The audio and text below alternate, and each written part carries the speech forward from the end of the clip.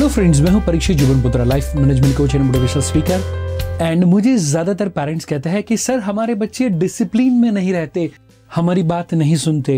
And number to हम हमारे बच्चों को रिस्पॉन्सिबल बनाना चाहते हैं। हम चाहते हैं कि हमारे बच्चे हैप्पी बने। एंड हम चाहते हैं हमारे बच्चे जीवन के अंदर सक्सेसफुल बने। तो ये दोनों चीज़ों को हम किस तरीके से मैनेज करें? वेरी फ़र्स्ट थिंग बच्चे जो हमारी बात नहीं सुनते वो सिचुएशन को कैसे टेकल करें? एंड नंबर टू बच्चों के अंदर ये आर एच एंड एस वाली तीनों की तीन क्वालिटी हम बच्चों के अंदर कैसे लाए? एंड मैं आपको पूछना चाहता हूँ, क्या आप आपके बच्चे को रिस्पॉन्सिबल हैप्पी एंड सक्सेसफुल बनाना चाहते हैं? तो मैं चाहूँगा जल्दी से कमेंट के अंदर आर एच एस टाइप करके मुझे बताएँ, ताकि मुझे पता चले। और ये वीडियो के अंदर मैं आपके साथ यही फॉर्मूला शेयर करने वाला हूँ कि कौन सी गलती होती है, वो गलती को अवॉइड करके हम बच्चों को वेल डिसिप्लिन बना सकते हैं। एंड उसके साथ में कौन सी वैसी फाइव टिप्स है जो फॉलो करके बच्चों को रिस्पॉन्सिबल बच्चों को हैप्पी एंड बच्चों को सक्सेसफुल बना सकते हैं। यही चीज़ के लिए हम आगे बढ़े, उससे पहले मैं आपको कहना चाहता हूँ कि यदि आप आपके पेरेंटिंग से जुड़ा हुआ, आपके बच्चों से जुड़ा हुआ कोई यदि प्रश्न मुझे पूछना चाहते हैं तो Parikshit Jobanputra life coach नाम की मेरी मोबाइल ऐप को डाउनलोड कर सकते हैं। वहाँ पर पेरेंटिंग से जुड़े हुए मेरे 300 से ज़्यादा वीडियोस अवेलेबल है। नंबर टू वहाँ पर पेरेंटिंग के लिए मेडिटेशन है। एंड नंबर थ्री वहाँ पर आप मेरे काउंसिलर के साथ डायरेक्ट बात कर पाए, उसके लिए आस्क अस नाम का मॉड्यूल है। वहाँ पर आप सीधा आपका प्रश्न मुझ तक या मेरे काउंसिलर तक पहुँचा सकते हैं। सो आई वुड रिकमेंड जल्दी से वो ऐप को डाउनलोड करें। सो नाउ फ्रेंड्स यदि हम बात करें सबसे पहले तो वो है तीन मेजर पेरेंटिंग मिस्टेक्स दोस्तों, जो बच्चे हैं वो हमारी जेरोक्स कॉपी है। सो जाने अनजाने में हमसे वैसे कोई गलती हो जाती है जिसके कारण शायद हमारा बच्चा ही हमारी बात नहीं सुनता। तो एज अ पेरेंट हमें वो जानना ज़रूरी है। एंड नंबर टू उसके बाद में फाइव इंपॉर्टेंट सॉल्यूशन है जिसके बारे में भी मैं बताऊँगा। सो so, ये वीडियो को अंत तक देखना बेहद ही ज़्यादा ज़रूरी है। सो वेरी फ़र्स्ट मिस्टेक जो ज़्यादातर मम्मी पापा के द्वारा होती है and that is what that is what जल्दी से सजेशन विथ फियर दोस्तों मैं आपको बताऊँ सजेशन विथ फियर क्या होता है? As a mother as a father आप आपके बच्चों को सजेस्ट कर सकते हैं, बेटा, तेरे लिए ये सही है, तेरे लिए ये गलत है। बट ज़्यादातर मम्मी पापा क्या करते हैं? सजेशन तो देते हैं बट विथ फियर देते हैं। वो बहुत बड़ी गलती होती है। और काफ़ी सारे मम्मी पापा तो हर छोटी छोटी बात में डराते रहते हैं बच्चों को। एग्ज़ाम्पल के तौर पे, खाना खा ले, वरना ब्रश कर ले, वरना पढ़ ले, वरना हॉस्टल में डाल दूँगे। खा ले, वरना पुलिस पकड़ जाएगी। ये नहीं करेगा तो वो नहीं होगा। सो दोस्तों, जितनी भी बार आप आपके बच्चों को डराते हो, वो डायलॉग तो याद होगा ना? उतना भी मत डराओ कि डर का डर ही खत्म हो जाए। सो जब आप आपके बच्चों को डराते हैं, या काइंड ऑफ़ नेगेटिव अफर्मेशन या सजेशन देते हैं, माने न माने आपकी अथॉरिटी का बच्चा स्वीकार करना छोड़ देता है। बच्चा आपको रिस्पेक्ट देना छोड़ देता है। बच्चा आपकी बात ध्यान से सुनना छोड़ देता है। और उसके बाद में उसके डिसिप्लिन के लिए, उसके लाइफ के लिए कोई भी जब आप अच्छे सजेशन देते हो, बच्चा कभी फॉलो नहीं करता। सो ये एक गलती क्या आप कर रहे हो? मैं चाहता हूँ कि यदि यस तो जल्दी से कमेंट बॉक्स में टाइप करके बताएँ। उसके बाद में सेकेंड मिस्टेक की और यदि हम आगे बढ़े तो that is multi directional parenting दोस्तों, ज़्यादातर ऐसा होता है कि काइंड ऑफ़ मम्मी की जो सोच है, वो अपने बच्चे को लेकर कुछ अलग होती है, जो पापा की सोच है, अपने बच्चे को लेकर कुछ अलग होती है।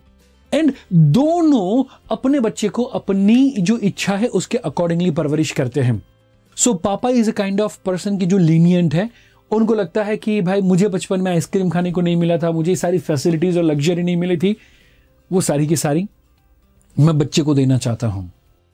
एंड मम्मी को ये लगता है कि मुझे मेरे बच्चे का अच्छा फ्यूचर यदि देखना है तो उसके साथ मुझे डिसिप्लिन से लाइक काइंड ऑफ़ पेश आना होगा, उसको डिसिप्लिन में रखना होगा। सारी जो चीज़ें मांगे, वो मैं दे दूँगी तो बच्चा बिगड़ जाएगा।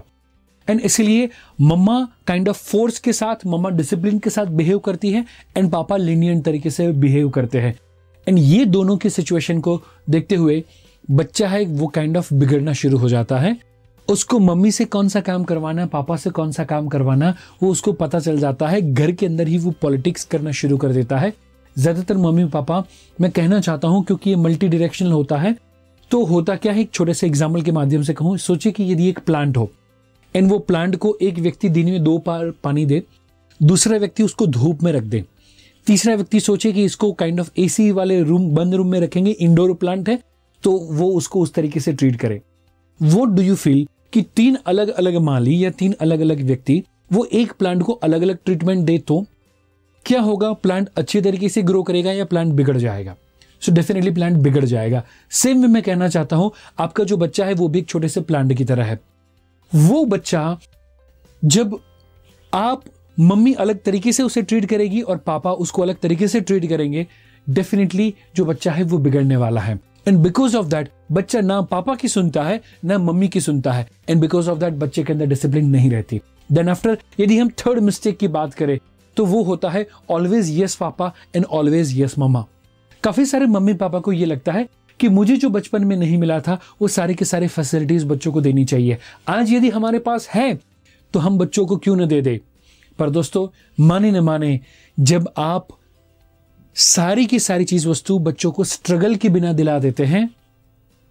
आई रिपीट बच्चों को स्ट्रगल के बिना जब भी कोई चीज़ दे देते हैं, वो चीज़ वस्तु की वैल्यू खत्म हो जाती है। वो वस्तु की वैल्यू खत्म हो जाती है और माने न माने वो देने वाले मम्मी पापा की भी वैल्यू खत्म हो जाती है। फिर बच्चे को लगता है सारी चीज़ें, वो मेरा अधिकार है। और उसके बाद में वो बहुत ज़्यादा डिमांडिंग हो जाता है और वो फिर डिसिप्लिन में नहीं रहता। सो वेरी फ़र्स्ट थिंग जो मैं कहना चाहता हूँ, यदि ये तीन में से कोई एक भी गलती आप करते हो तो वेरी फ़र्स्ट थिंग मैं चाहूँगा कि वो कमेंट करके बताए कौन सी ये तीन में से गलती करते हो। ये तीन गलती को अब हमें अवॉइड करना है। एंड नाउ मैं पाँच पावरफुल स्ट्रेटेजीज है जो आपके साथ शेयर करना चाहता हूँ, जो आज के बाद आपको अपनानी है।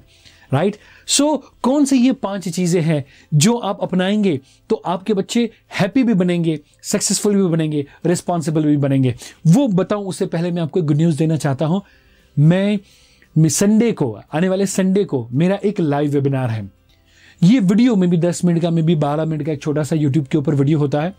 पर दोस्तों यदि आप मुझे लाइव मिलना चाहते हैं यदि मुझसे लाइव इंटरेक्ट करना चाहते हैं तो ये आने वाले संडे को मेरा ये फ्री वेबिनार है। उसकी लिंक मैंने डिस्क्रिप्शन के अंदर एंड कमेंट बॉक्स के अंदर भी मैंने रखी हुई है। यदि वो दो घंटे के इंटरेक्टिव सेशन को पेरेंटिंग के सेशन को यदि आप अटेंड करना चाहते हैं चाइल्ड साइकोलॉजी को समझना चाहते हैं तो मैं आपको इन्वाइट करता हूँ मेरे इस फ्री वेबिनार को अटेंड करने के लिए। सुनाओ, पाँच सॉल्यूशन के बारे में हम बात करें। तो पहला सॉल्यूशन जो अब हमें ध्यान में रखना है एंड दैट इज़ व्हाट आज के बाद हम बच्चों को फियर वाला सजेशन नहीं देंगे पॉजिटिव सजेशन देंगे। सो दोस्तों सजेशन विद फियर क्या होगा? तू खाना खा ले, वरना पुलिस पकड़ जाएगी। That is suggestion with fear और काइंड ऑफ़ नेगेटिव सजेशन उसकी जगह पर, बेटा, तू खाना खाएगा तो तेरे अंदर ताकत आएगी। So kind of that is the positive suggestion बेटा, तू पढ़ेगा तो उससे तेरा फ्यूचर ब्राइट होगा। बेटा, तू पढ़ेगा तो तेरा जो डॉक्टर बनने का सपना है, वो ज़रूर से पूरा होगा। बेटा, तू अभी हेल्थ पे ध्यान देगा तो इन फ्यूचर तो ज़्यादा हेल्दी होगा। काइंड kind ऑफ़ of आज के बाद मैं मेरे बच्चों को नेगेटिव या डराने वाले सजेशन ना देते हुए इंस्पायरिंग एंड पॉजिटिव सजेशन दूँगा। दोस्तों, मैं चाहता हूँ कि आप, आपका commitment I will always give positive suggestion वो जल्दी से कमिटमेंट आपका यहाँ पर कमेंट बॉक्स के अंदर टाइप करें। वेरी फ़र्स्ट थिंग आपको जब भी आपके बच्चे के साथ इंटरेक्ट करते हैं, मैं आपको स्ट्रांगली रिकमेंड करूँगा, पहले जो बोलना चाहते हैं वो मन में बोले। मन में बोले और खुद सोचे कि ये नेगेटिव सजेशन है, या काइंड ऑफ़ फियर वाला सजेशन है कि पॉजिटिव इंस्पायरिंग सजेशन है। यदि नेगेटिव लगे तो वहीं पे रुक जाए, बोले नहीं एंड यदि वो इंस्पायरिंग हो पॉजिटिव हो तो बच्चों के साथ डील करें।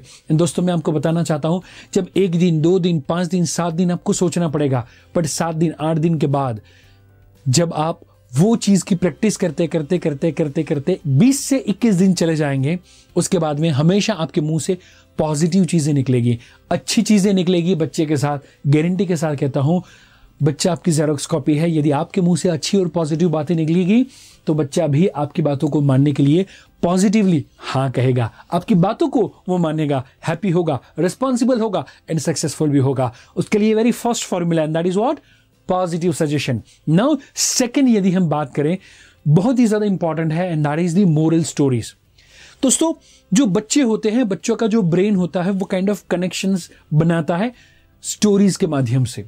कोई भी चीज़ वस्तु को यदि आप बच्चों को समझाना चाहते हैं तो मैं आपको स्ट्रांगली रेकमेंड करूँगा, वो नॉर्मल एडवाइस के फॉर्म में ना देते हुए आप स्टोरी के माध्यम से कहें। मैं जब छोटा था, मुझे याद है, जो मम्मी के द्वारा मुझे काफ़ी सारी कहानियाँ सुनाई जाती थी एंड वो मेजोरिटी ऑफ़ द स्टोरीज आज भी मुझे याद है। एंड समहाउ मैं बताना चाहता हूँ कि मेरे जीवन के अंदर मेरा जो पर्सनल ग्रोथ हुआ है, उसके अंदर ये शरीर की बात नहीं, मन की बात चल रही है। हालाँकि शरीर का ग्रोथ भी हुआ है, पर मैं कहना चाहता हूँ, उसके अंदर उसके अंदर मेरे मम्मी के द्वारा जो मोरल स्टोरीज कही जाती थी, उसका सबसे बड़ा योगदान है। एक बार आइंस्टाइन को पूछा गया कि यदि हम बच्चों को जीनियस बनाना चाहते हैं, क्योंकि आप जीनियस है तो बच्चों को जीनियस बनाने की फॉर्मूला आप यदि हमें कुछ बता पाए। तो उनको पूछा गया कि जीनियस बनाने की फॉर्मूला क्या हो सकती है? आइंस्टाइन कहते हैं, बच्चों को कहानी सुनाए। पत्रकार को उतना ज़्यादा समझ में नहीं आया। उन्होंने कहा कि अच्छा और ज़्यादा जीनियस बनाना हो तो? आइंस्टाइन ने कहा, और ज़्यादा कहानियाँ सुनाए। यस दोस्तों, बच्चों को जीनियस बनाने का, बच्चों को कोई भी बात समझाने का डांट के, धमका के, मार के बच्चे कभी नहीं मानेंगे। बट यदि आप कोई मोरल स्टोरी बच्चों को बताएँगे डेफिनेटली बच्चा वो बात समझेगा। सो so, कौन सी स्टोरी है जिसने आपके ऊपर प्रभाव छोड़ा हुआ है? इफ़ेक्ट छोड़ा हुआ है और मे भी शायद कौन सी स्टोरी है जिससे बच्चा आपकी बात मानता है? मैं चाहता हूँ वो कमेंट बॉक्स के अंदर आप टाइप करके मुझे बताएँ एंड आपकी जो भी कमेंट्स होती है वो सारी की सारी कमेंट्स में पढ़ता हूँ। सो so, कौन सी स्टोरी है जिसने आपको इंस्पायर किया? या मे बी नंबर टू कौन सी स्टोरी है जिससे बच्चों के ऊपर पॉजिटिव इंपैक्ट आया? वो आप शेयर कर सकते हैं। और इनफैक्ट मैं कहूँ अकबर बिरबल की कहानी हो सकती है। तेनाली रामन की कहानी हो सकती है। वैसी कौन सी स्टोरीज है जो आपको बहुत ही अच्छी लगती है? मैं जब छोटा था पंचतंत्र एंड अकबर बिरबल ये दोनों कहानियाँ मुझे बहुत ही ज़्यादा पसंद थी। अभी मेरा बेटा पौने चार साल का है और उसके साथ मैं स्टोरीज वगैरह शेयर करता हूँ उसको भी बिरबल की कहानियाँ बहुत ही ज़्यादा पसंद आती है। सो so, आपके बच्चे को कौन सी कहानी पसंद आती है? जल्दी से मेरे साथ शेयर करें।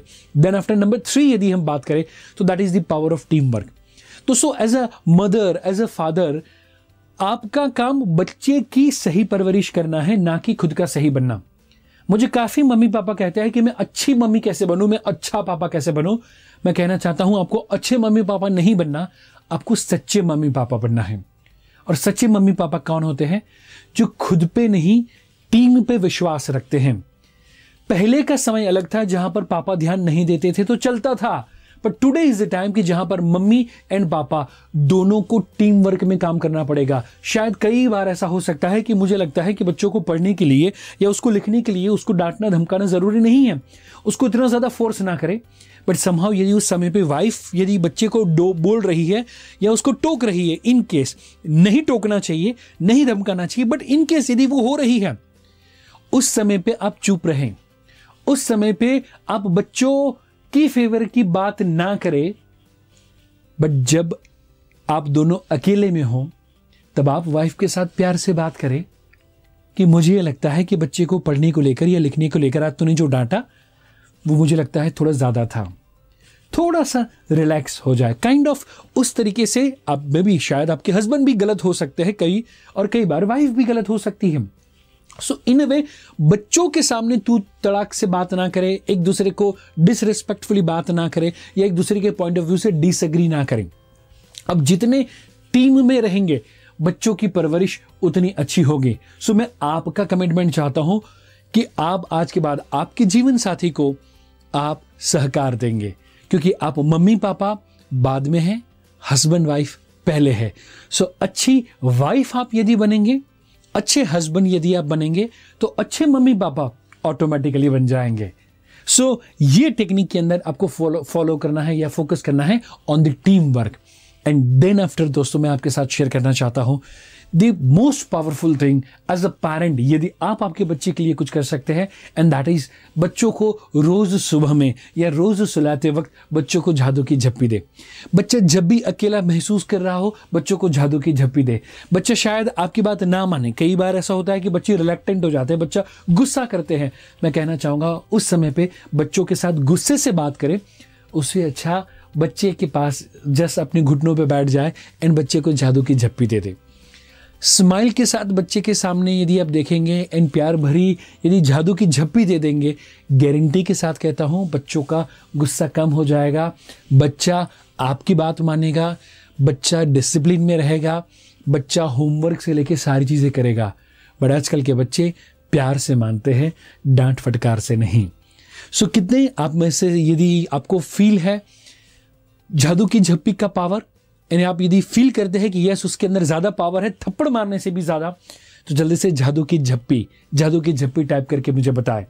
एंड डन आफ्टर दोस्तों, पांचवा एंड अल्टीमेट पॉजिटिव पेरेंटिंग का यदि मैं पॉइंट यदि आपके साथ शेयर करूँ तो वो मैं कहना चाहता हूँ, बच्चों के चाइल्डहुड को एक्सेप्ट करें एंड नंबर टू वो चाइल्डहुड को एंजॉय करें।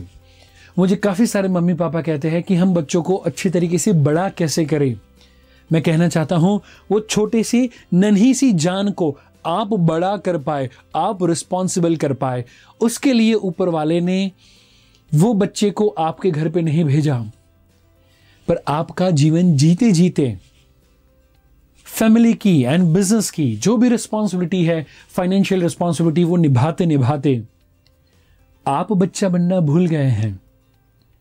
आपको आपका बचपन याद कराने के लिए ईश्वर ने अल्लाह ने गॉड ने जीसस ने वो बच्चे को आपके घर पे भेजा है। सो so, मैं कहना चाहता हूँ बच्चा बड़ा हो जाएगा। उससे पहले बच्चे को बच्चा होने दो। आप दुखी आत्मा की तरह हमेशा उसको सुधारने में लगो। उससे अच्छा उसके साथ रिलेशनशिप को सुधारने पे ध्यान दो। आप बच्चों के बचपन को एक्सेप्ट करें। वो बच्चे हैं उनको बच्चे रहने दो। उसके साथ बचपन की कौन सी गेम खेलेंगे, कौन सी एक्टिविटी करेंगे जो बच्चे को पसंद है। मैं कहना चाहता हूँ, बच्चे को मे भी सुडोकू पसंद है मे भी अंताक्षरी पसंद है मे भी पकड़म पकड़ी मे भी छुपम छुपी पसंद है, जो भी पसंद है। मैं चाहता हूँ कि रोज 20 मिनट 30 मिनट आप बच्चों के साथ बच्चे बनकर खेलना शुरू करें। इन गारंटी के साथ कहता हूँ, आने वाले 20 से 30 दिनों के अंदर आपके और बच्चों के रिलेशनशिप ज़्यादा इंप्रूव हो जाएँगे। और गारंटी के साथ कहता हूँ उसके बाद में बच्चा डिसिप्लिन में भी रहेगा बच्चा आपकी बार सारी बात सुनेगा भी आपका और उसका इमोशनल कनेक्शन भी स्ट्रांग होगा और आपके पेरेंटिंग के प्रॉब्लम्स भी दूर होंगे। सो so, ये पाँचों की पाँच चीज़ में से कौन सी चीज़ है जो आप फॉलो करेंगे? मैं चाहता हूँ कि जल्दी से आप कमेंट बॉक्स में कमेंट करके बताएँ। एंड ये पाँच चीज़ करने से पहले वो तीन गलतियाँ यदि करते थे तो वो छोड़ना है। और ये पाँच चीज़ें अपनानी है। एंड यस दोस्तों, फिर से आपको याद कराना चाहता हूँ कि यदि आप पेरेंटिंग के टॉप सीक्रेट्स यदि जानना चाहते हैं, दो घंटे के लाइव वेबिनार के माध्यम से तो आने वाले संडे को ही वो वेबिनार हो रहा है। उसकी लिंक रजिस्ट्रेशन की मैंने डिस्क्रिप्शन में एंड कमेंट बॉक्स में रखी हुई है। आई वुड स्ट्रांगली रिकमेंड मुझे लाइव मिलने के लिए पेरेंटिंग के लाइव सीक्रेट्स जानने के लिए, जल्दी से आपका वेबिनार के लिए रजिस्ट्रेशन करवाएँ। एंड यदि आप ऐसे पेरेंटिंग के ढेर सारे वीडियोस को देखना चाहते हैं एवरी वीक मैं पेरेंटिंग के ऊपर एक नया वीडियो रखता हूँ वो यदि सारे के सारे वीडियोस यदि आप चाहते हैं कि आपको मिले उसकी जानकारी तो जल्दी से ये चैनल को सब्सक्राइब करें बिल का बटन प्रेस करें ताकि एवरी वीक ऐसे नए पावरफुल वीडियोज़ आपको मिलते रहे। सो so, आप सक्सेसफुल पेरेंट बने आप हैप्पी पेरेंट बने वैसे ढेर सारी शुभकामनाएँ। मिलेंगे मिलते रहेंगे खेलते रहेंगे। Bye bye take care